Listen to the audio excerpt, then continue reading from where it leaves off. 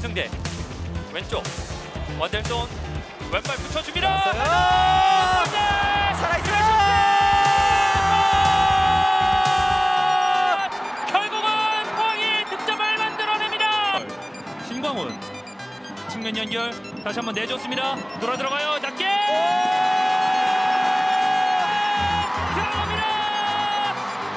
경기를 뒤집어버리는 강원입니다. 보유한 자 접어 들어옵니다. 안성남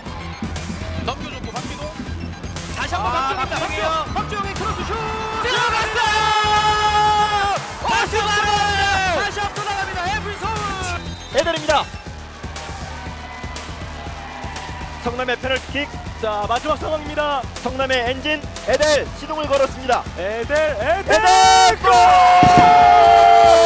그렇습니다. 시간 정말 얼마 남아 있지 않았습니다.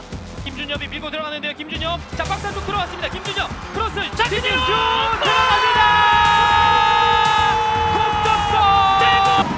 박스 안쪽 헤더 반대쪽 살아있어요. 슈팅! 이 경기 4대4 조재완 막 해트트릭! 어떻게든 볼을 긁어왔습니다. 그리고 왼쪽 측면 조재완 올려줍니다. 박스 안쪽